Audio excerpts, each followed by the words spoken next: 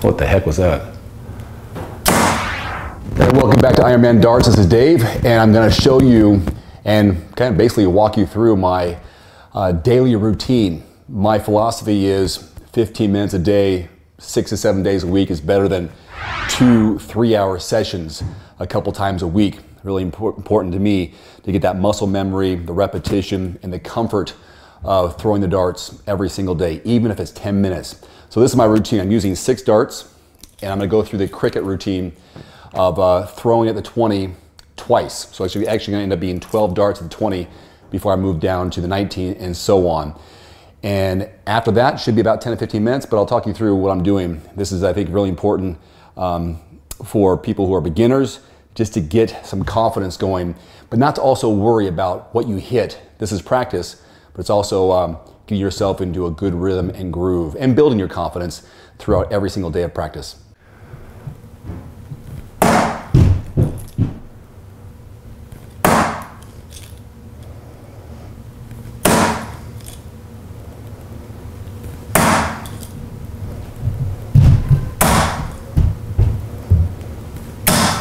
Starting to get pretty crowded right there, which is the real downside of throwing more than three darts is it can get crowded, especially if you're hitting what you want to hit.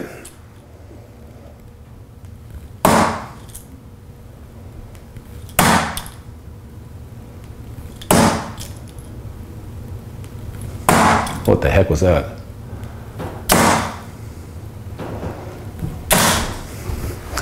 Now if I do happen to fill up the treble let's say three or four darts, then I'll go for a double.